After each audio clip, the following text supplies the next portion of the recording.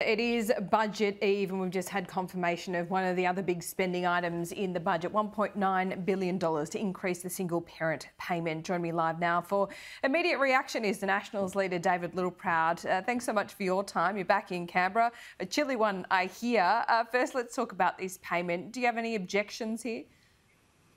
Well, I think we need to look at the totality of the budget. Obviously, um, the government's made it clear they wanted to help uh, those that are on social security payments to keep pace with inflation, even though there are indexed movements on that every six 12 and 12 months. Uh, so we'll look at it in the totality, and uh, we need to look at it through the lens of what also happens with JobKeeper uh, and understand who's paying for it, because invariably it's going to be regional Australia. We lost $22 billion in the last budget, in the October budget, uh, that went to much of their spending. And I suspect now that uh, Catherine King's reviewing $120 billion worth of infrastructure projects, I suspect regional Australia will foot that bill. Uh, so that's what concerns us, particularly when there's been no investment in childcare. We haven't got childcare um, accessibility, uh, any uh, any program looking to help us in rural and remote Australia to get childcare accessibility to fight uh, cost of living pressures that families are facing want to go back to work. Uh, so we, we fear that that 4.7 billion that was spent last year on subsidies about affordability uh, is all that's going to be in the budget. And we're also concerned about regional health. They're putting uh, excise up on cigarettes, which go, which is a tax on uh, our poorest families. Invariably, they're the ones that smoke, and they're in National Party seats. We represent seven of the most 10 poorest seats in the country. Uh, but of the three odd billion dollars they're going to recover out of that, we're not seeing anything go to regional health. So we're very concerned that regional health will be the ones that'll pay the price. They stripped the cupboard in the last budget on, on uh, regional Australia, and I think they're going to take the hinges off at this time, off the cupboard, and leave us with nothing and pay for everything they want for the capital city. So we're very concerned as nationals.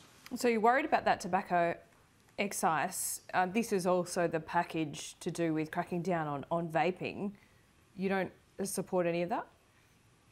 Well, I think the fact that they're going to plain packaging, but uh, we've got very big concerns. The Nationals have a principled position that prohibition hasn't worked in the past. We did say that when we, if we are to put excise up, that we're to do that responsibly and that it's to be put into programs that help people get off cigarettes and e-cigarettes as well as regional health. Uh, and this is where we think this policy uh, will fail again, unfortunately, and not protect our children. We've got a model that has worked with, with cigarettes. We've seen that juvenile use of cigarettes have gone below 3% now. Uh, that's an 80% reduction since, uh, and to the credit of the, the uh, Gillard government, in bringing in restrictions on plain packaging and restricted sales through registered uh, convenience stores. That was the way that we've had success. That's a regulatory model that's worked. I think we need to use some common sense because when only 8% of Australians who are vaping at the moment have a prescription, I hardly think that they're going to quickly swap over when you walk the streets. And this government has already said they don't have a plan of how to tackle online purchases from overseas. And when you've got the Australian Federal Police Association saying they don't know how anyone's going to be able to police this, I just fear we're making the mistakes of the past. And we admit we, we actually supported as Nationals that policy that Greg Hunt put in place. But you've got to admit when you got it wrong and you've got to look to models that work. Yeah. And what has worked in this country is how we've regulated cigarettes.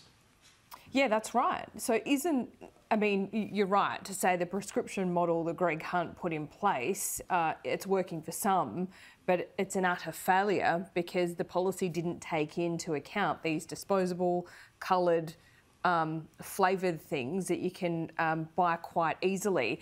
But as a principle, you know, yes, there's going to be gaps in this policy, but if it just simply makes it harder and more expensive for people to get, that's going to have an impact, isn't it? Well, we hope it works, but we, we're just looking at history and what yeah. has been put in place so, in the past. Not part of this package that you think needs to be included here? Well, well, in fact, the, the, the, model that we're going down a prescription path, where only 8% of Australians who vape at the moment have a prescription, you are going to have to see a lot of appointments with doctors to get these prescriptions uh, to start this. Uh, and I don't think when there's availability uh, online for adults to sit there and go, well, I'm going to go to the doctor. Instead, they'll just go to Dr. Google instead and start to order online. And to think you can pull it up at the border, uh, is fanciful. I mean, you, we're going from around 5 million containers to 8.5 million containers coming through our ports by the end of the decade. And to think that we're going to be able to pull all that up and we'll have the resources to pull up uh, some of these sale, online sales at the border is, mm. is not going to happen. So what you've got to do is look at what's worked, look at the practical reality. We don't dispute the science. Both cigarettes and e-cigarettes are bad for you. Uh, and we want to get people off both of them.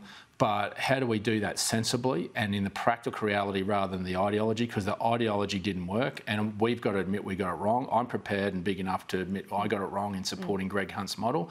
So let's do something that has been proven to work. Let's use common sense and let's get protect children and get adults off both e-cigarettes and cigarettes. Yep. Okay, let's talk uh, more broadly about the cost of living uh, element to this budget. Now, we don't have all the details. It's 14%, uh, $14.6 billion worth of cost of living relief, we're told, over the forward estimates. What are you looking for in terms of the detail here to make sure it's not inflationary? Is that the kind of the number one test here?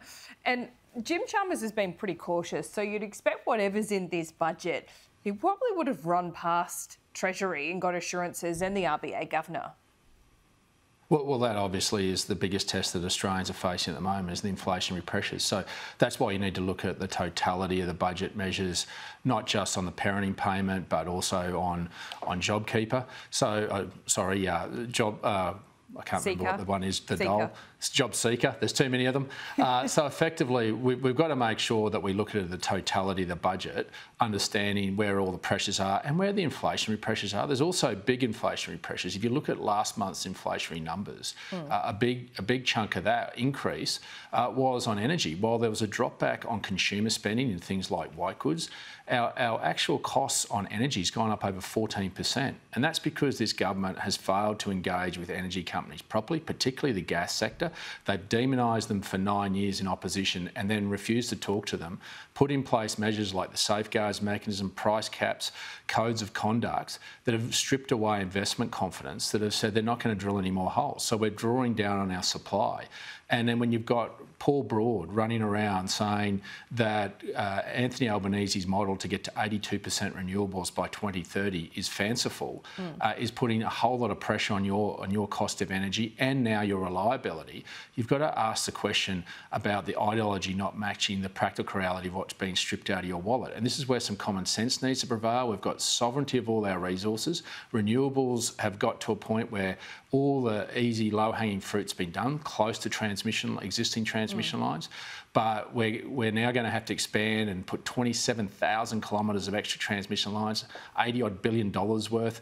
Plus, we're going to strip away prime agricultural land and knock down uh, native native bushland to put in uh, solar panels and wind farms uh, to be able to get us to 82% when we have sovereignty of our resources with gas. Renewables can still be increased. We want to see them increase, but we need to supplement that with gas and also look at the emerging technology of small scale modular nuclear. That's, this is where we've got the opportunity to get this right, but we, yeah. we shouldn't rush it because what, what this government has done has rushed it and put inflationary pressure on, on your uh, electricity bill, but also on your food bill because processors are having to pay sometimes three, four times more than what they were previously to get food from the paddock onto your plate.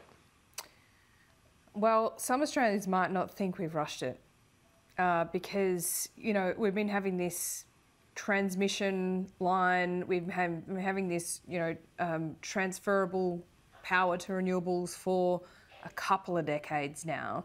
You admit after AEMO said, you know, we need to get some of those transmission lines done sooner rather than later, perhaps not the entire package, but we've got to listen to your AEMO, don't we? That these transmission well, lines, at least some of them, need to start being upgraded and they should have been done years ago. Well, invariably, the ones that say we haven't been going quick enough are the ones that can afford it.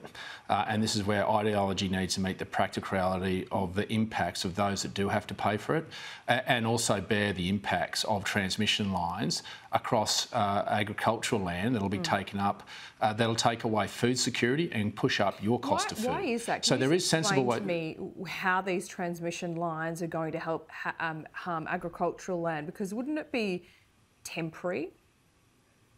No, no. These are these are permanent 80 metre towers with yeah. uh, six wires running across them, running across prime agricultural land, running What's also. Well, so there, there is there a buffer is required um, underneath them to, to remain clear, and also obviously there's issues around emergency management, around bushfires, and about how you can how you can manage the landscape to minimise bushfires. But it's But also in terms of if the, you've got a, a multi, you know, a hundred acre farm or something, I mean, the transmission lines. We're, we're really, talking 27,000 kilometres. I'm sorry, um, Yeah. to put it in perspective, 27,000 give me some kilometres plus, plus. Pl- Plus, if you want to put it in perspective, you want to put solar panels. I was in Wagga a month ago, and there's a thousand acres of solar panels going across cultivation land that produces wheat and canola that Yeah, will that's be different lost. from transmission Now, lines, right? So if we No, no, but you've got to look at it transmission ta- lines, how, how much Well, is this no, going no, to take up? No, no. So let's work because they, they come together here, Laura. And what we're saying is a sensible solution for renewables. If you want to put it a landscape where solar panels should go, look at rooftop. Look at the capital cities, and that is where the energy is required. And if you take a, if you if you make it closer to its source, then you remove the need for the extent of transmission lines that are required. So the landscape that should have solar panels on it should be those in capital cities, and for wind farms, they should be offshore, where the landscape uh, isn't isn't impacted, and we're not we're not knocking down th- hundreds of thousands, if not millions, of hectares of, of native bushland uh, to put these things on, as well as lose prime agricultural land. So we're not against renewables. We're saying let's use a sensible solution that the coalition started about rooftop solar, making sure that it's close to the source that's required.